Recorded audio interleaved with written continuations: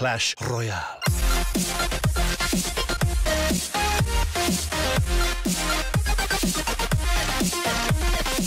Čo se lidi, vítejte u dalšího videa. Dneska si zahrajeme Clash Royale Challenge o 20 vinů, ale ještě předtím vám asi dlužím vysvětlení za to, proč nevychází videa. Je to z jediného důvodu, a tím je škola.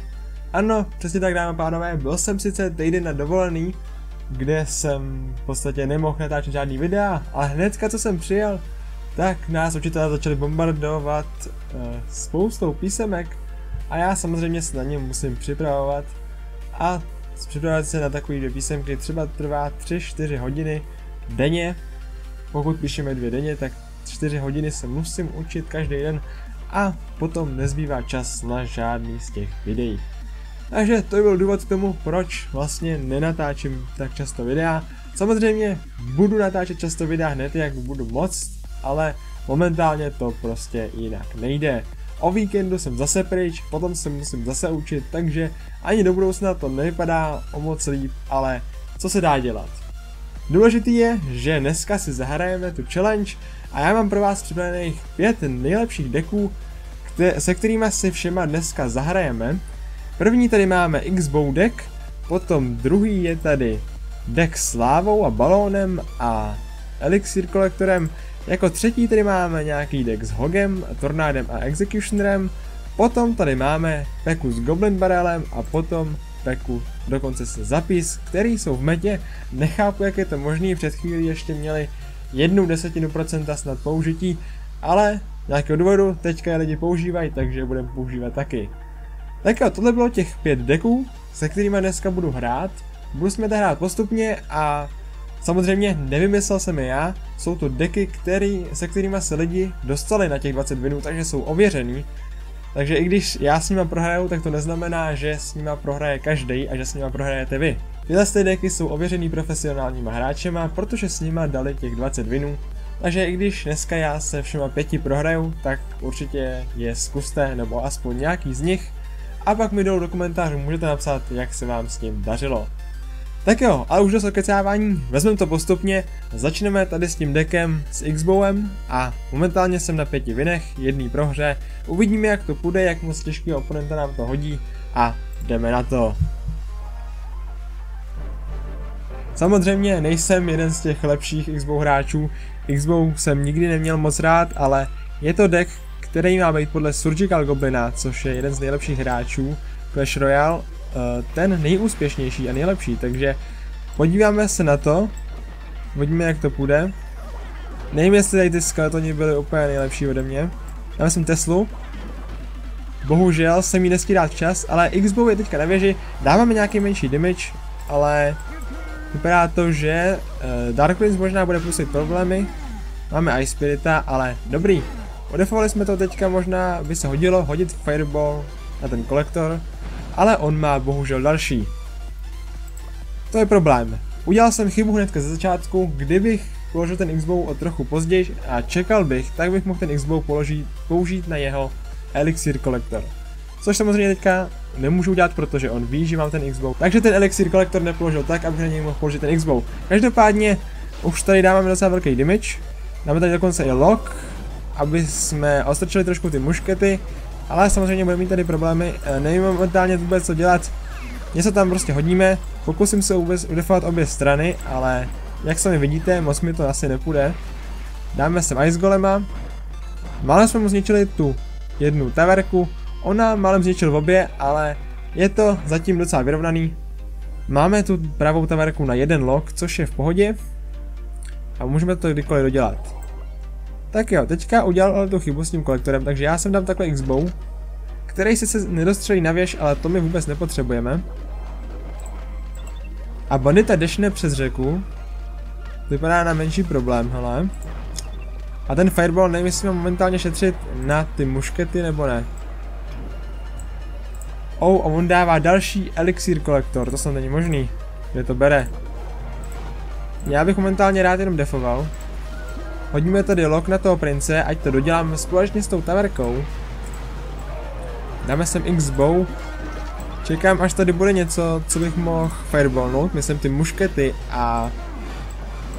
Um, muškety a elixir kolektor najednou, ale teďka to tady vypadá docela špatně. Muškety sice vyšly, ale já je mysnu. Ne. A on nám navíc zničil tu taverku.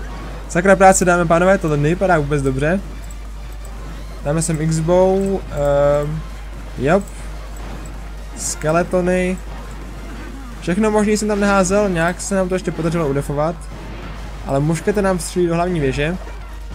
A nevím, co nám tam předtím zničilo ten, tu pravou taverku. Oh, Tesla, rychle, zachrání nás.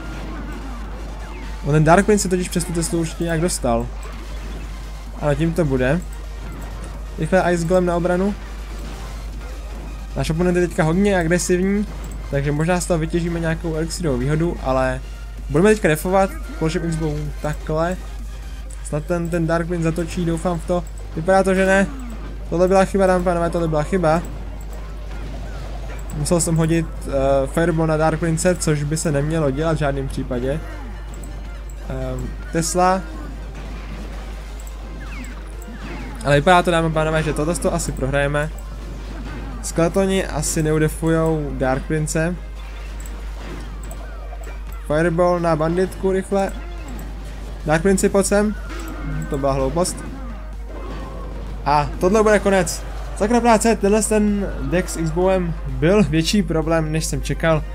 Nevadí, e, přesuneme se k dalšímu deku. Jak jsem říkal, e, i když já to prohraju, neve, neznamená to, že vy s tím prohrajete taky a že ten deck je špatný.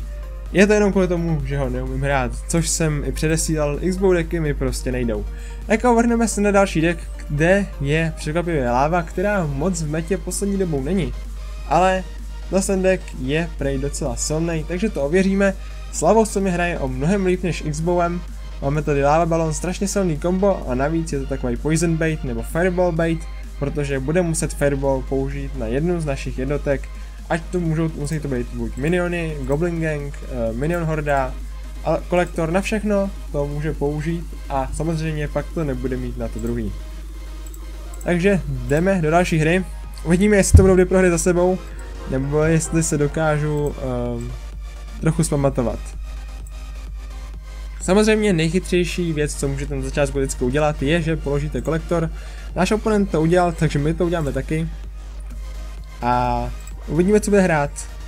Nejčastější věc, co se hraje s kolektorem, je uh, samozřejmě golem, takže uvidíme, co to bude, ale možná, že hraje ten stejný deck, protože má uh, taky Goblin Gang, i když vlastně ne, já nemám deku Minera, takže stejný deck hrát nemůže. Každopádně udefovali jsme jeho Minera, což bude rozhodně pozitivní elixir trade pro nás. A můžeme podle mě začít s lávou vzadu. Teďka budeme muset doufat, že nemá lock.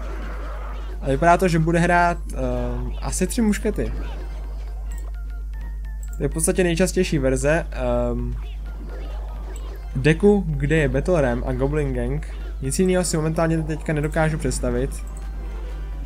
A jdem pro to kombo. Dáme sem tu minion hordu. Bomba by nám měl, měla pomoct zabít ty muškety.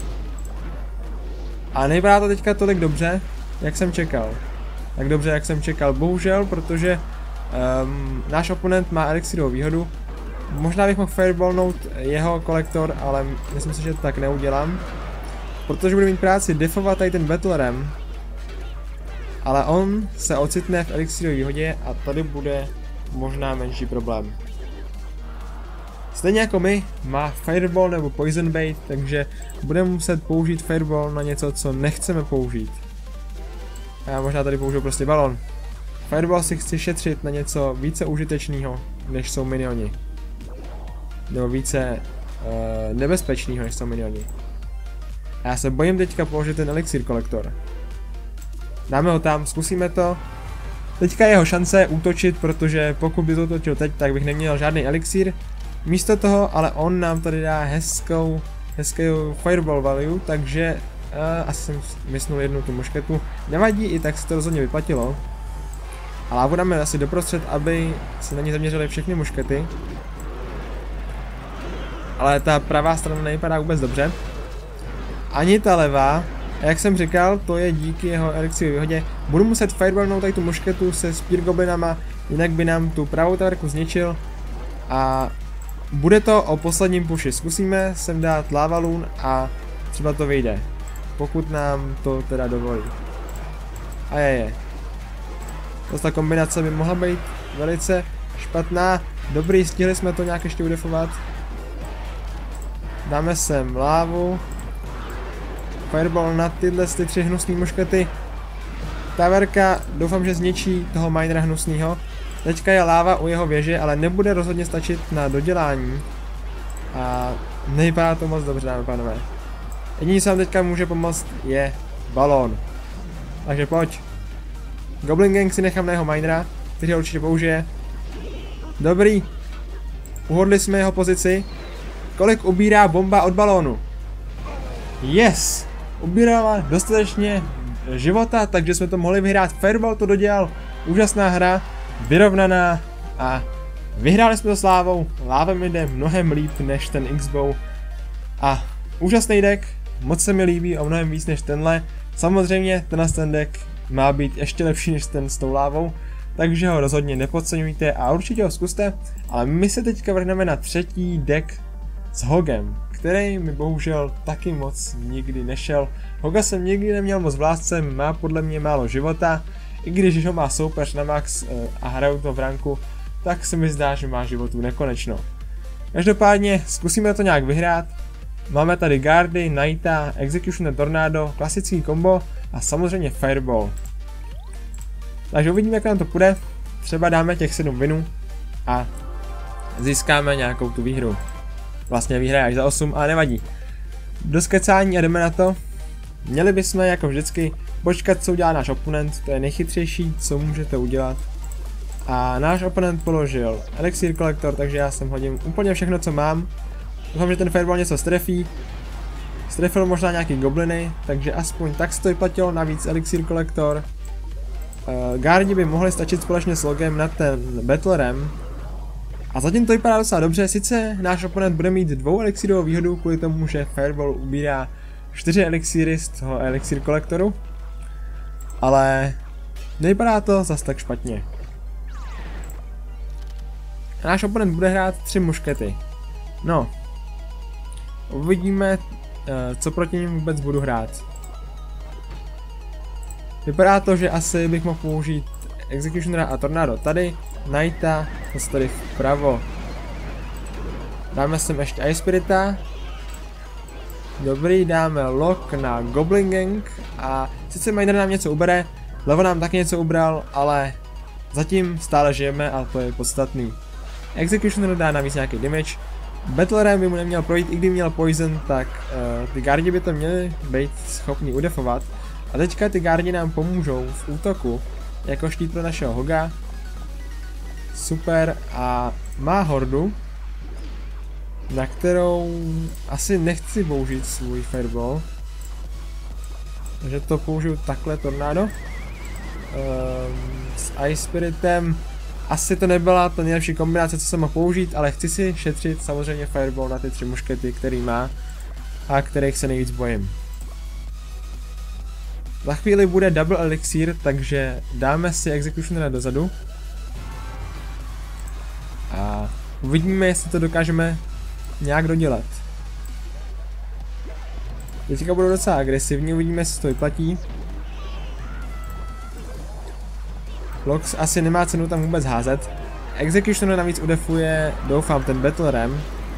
Abych ho nemusel používat. Uh, kam mám teďka hodit ten Fireball? Možná, že to prostě hodíme sem. A tady dáme Knighta na tohle. A oh. To nevypadá zase tak dobře. Dáme sem guardy. Um, doufám, že to Executioner zkosí včas. Ještě lock. Zabij tu mušketu. Dobrý, tohle bude hodně těsná hra. Dokáže se dostat za 13 vteřin před naší obranu? Doufám, že ne. Neměl by. Hodíme sem Fireball na tyhle muškety vpravo. A super, vyhráli jsme to i s Hogem, i když s ním moc neumím hrát. Tak se mi to podařilo, super, jsem moc šťastný a máme 7 výher což je zatím můj rekord, protože když jsem hrál poprvé, tak jsem to trollil. Teďka to v podstatě taky trolím, protože hraju s dekama, se kterými jsem ještě nikdy nehrál a neumím hrát. ale i tak se mi podařilo dát těch 7 winů, což jsem docela rád. A vrhneme se na čtvrtý deck, což je Pekka Goblin Barrel, což je velice zajímavá kombinace. Máme tady samozřejmě další Poison Bait, protože Poison, jak vidíte, nebo Fireball se hraje úplně všude. Takže um, je to prostě, je prostě důležitý mít více karet, uh, aby se musel opu- váš oponent rozhodovat, na co ten Poison a Fireball použije. Máme tady samozřejmě minera proti Elixir kolektoru, ale jdeme na to, žádný přemýšlení a uvidíme, jak to dopadne. Důležitý, na co se tady v tom deku je, že peku byste měli používat jenom na obranu, neměli byste ji používat na útok, takže velká chyba by byla, kdybych ji teďka třeba dal na most a tím bychom to mohla absolutně pokazit. Tady můžeme použít asi poison na tu mušketu. Nevím, co jiného bych hrál. Možná si budeme muset připravit tu peku. Ten poison jsem bohužel použil špatně, takže jsem moc nevyplatil, ale nevadí. Teďka nám tady kráčí ta peka. Díky tomu, že Ice Golem odvede její pozornost, bude mít uh, větší push. A zkusíme teďka to kombo s tím barelem. Hodíme za peku i Spear Gobliny. Doufám, že se mušketa stihne loknout na toho peku, super. Ale zase se odlogla. Sakra, nevadí. Zapneme to všechno, nevím, jestli to vyplatilo. Peka bohužel umře. A teďka díky tomu zapu si myslím, jsme se dostali do elixirové nevýhody. A uvidíme, co ta mušketa udělá. Měla by dát asi tři rány, myslím. Možná čtyři? Tři, takže pořád v pohodě. Můžeme teďka samozřejmě zkusit Miner Horda combo. A to nevím, jestli bylo zrovna chytrý. Protože zrovna položil to hnusného Ice Glema. Tady dáme Goblin Gang proti Hogovi.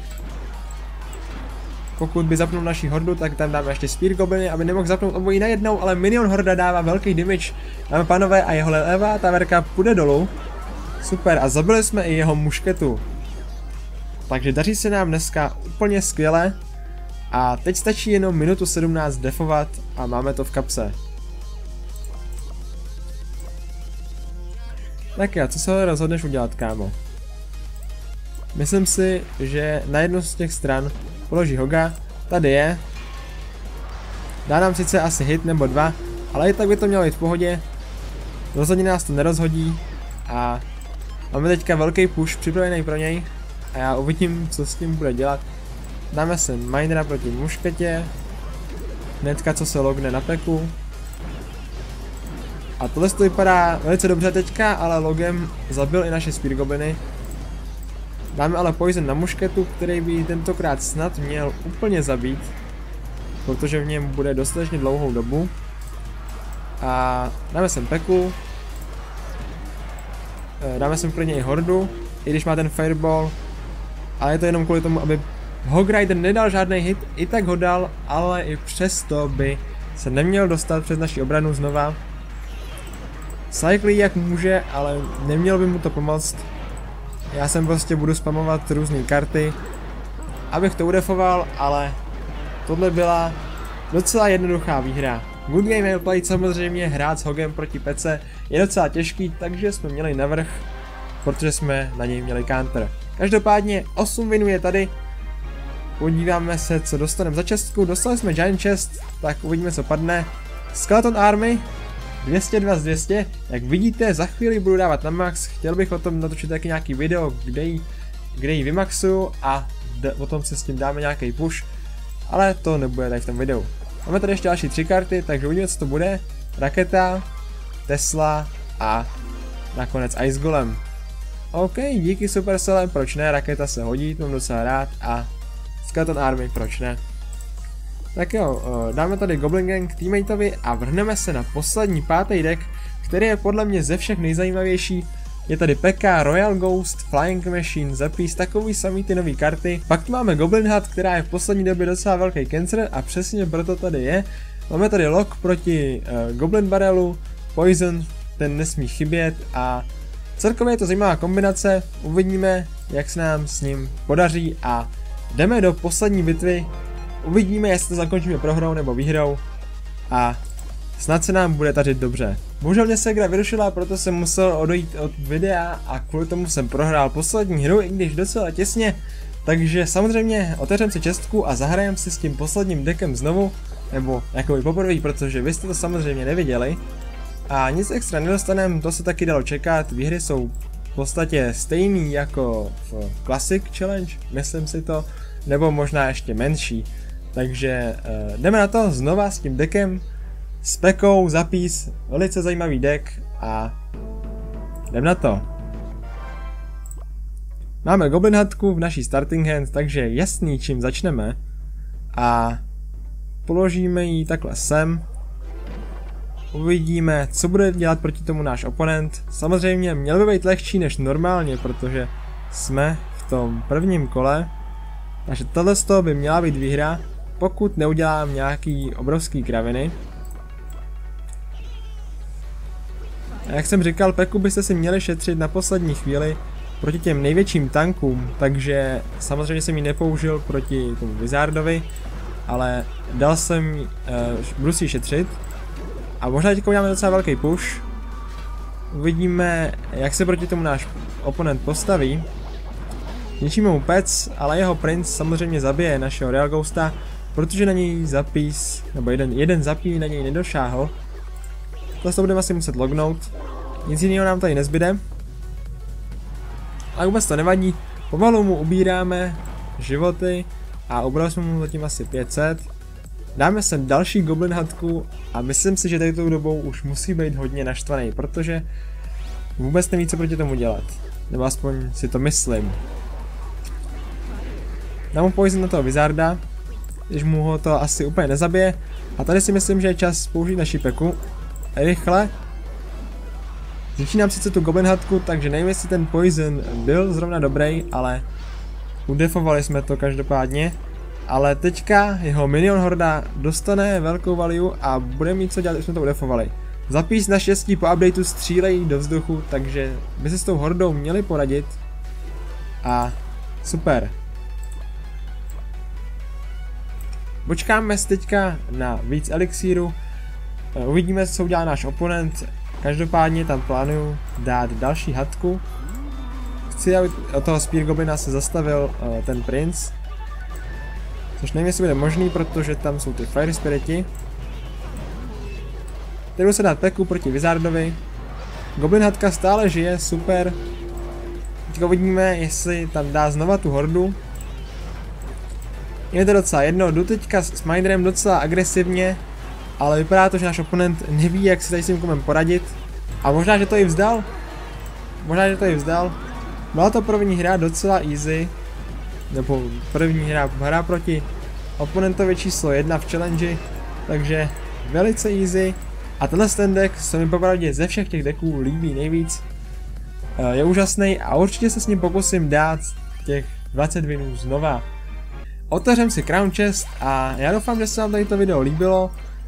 Doufám, že jste se ho užili stejně jako já. Tady těch pět deků, znova si je projedem. První je teda X-Bow, druhý je Lava Loon, potom tady máme Hoga, Exe Tornado, potom Peku s Goblin Barrelem a nakonec ten deck, který jsem hrál právě teď. Peka, Real Ghost, Flying Machine zapis, velice zvláštní deck, ale velice dobrý a úžasný, podle mě nejlepší tady z té pětky. Tak jo, já doufám, že se vám video líbilo. Pokud ano, hoďte dolů like, můžete dát taky odběr, pokud jste nový a omlouvám se, že teďka videa nebudou moc vycházet, ale hold se nedá nic dělat, škola volá, takže já zase jdu. Takže uvidíme se někdy příště. Čus.